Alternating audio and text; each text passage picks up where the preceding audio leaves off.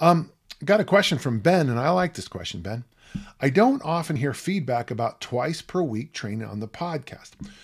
Yeah, I back in 1991, 92, I had a great series of conversations and training sessions and throwing sessions with the late Swedish discus thrower Göran Svensson. Now, God bless Göran. I didn't know that he had all kinds of other issues. Uh, let's and and he he did he did have a a, a, a tragic young death. But uh, one of the things I liked about Göran and uh, my that journal is in is in that uh, library back there is our conversations. He had these great ideas about lifting just twice a week as an elite thrower. When you first hear that, you know, you're always hearing, oh, you're training three days a week. Well, I'm going to train four. You're training four. I'm going to train five. You're training twice a day. I'm going to train four times a day. You're eating uh, 100 grams of protein. I'm going to eat 5,000 grams of protein a day. Uh, it we're just crazy. And he's the first person who ever went to me and said, "No, let's just do two days." And nicely, you have it here for us.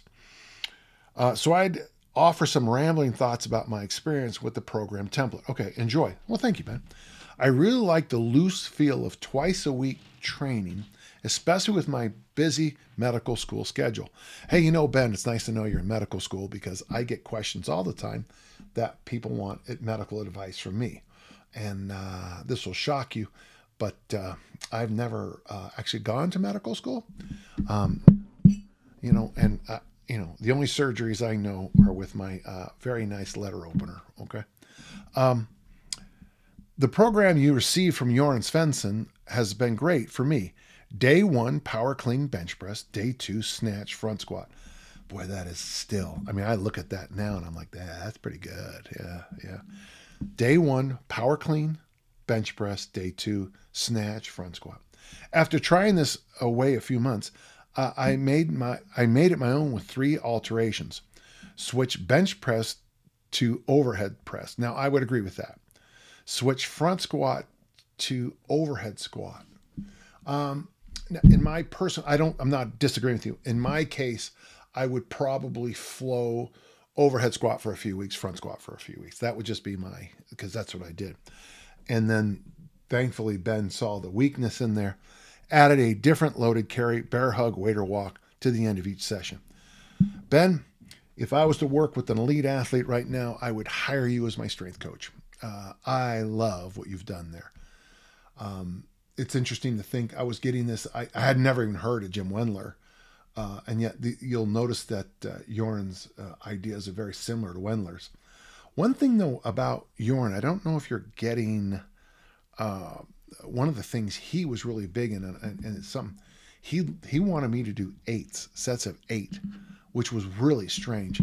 But if you read my work, you can see the influence of it because Göran's program became the transformation uh, transformation program and basically the roots of one lift a day. So we would do a set of eight in the front squat and th- then do a, a, right after rack the bar, step back and do a plyometric drill of some kind. Uh, he had, uh, I liked always trying to jump and touch the ceiling, uh, try to touch it with my right hand the first set, left hand second. He he had a he had a really interesting one where he he, he did high leaps but landed in uh, what we would call the lunge position. Don't get all excited. We weren't doing lunges. So lunge, lunge, lunge, lunge like that for height. But we weren't lunging. He was just because he felt that was a throwing thing. Um, and um, after the after, so the nice thing is after overhead press, you could probably instantly go and do some medicine ball throws or something like that. Whereas in the bench press, you'd have to get up and do something. I also walk for up to an hour a day as part of my commute and try to do some weighted pull ups several times a week. Right now, I can do six sets of three with 40 pounds. Hey, Ben, you know what you should do is write that into an article or um, start your own forum in that workout. I, I, I, hate to say it's a perfect workout because there's no such thing, but that is pretty good. So let's review, folks. Day one, power clean, overhead press. Day two, snatch and overhead squat. Now, we used to call that exercise the exercise. Uh, and then do a loaded carry, an hour of walking a day, and several pull ups. That's, uh, that's the highest praise I can give. It's very good. Thanks for sharing that with us, Ben. And uh, I got to tell you, this might be the best set of questions ever. Let's see if it continues.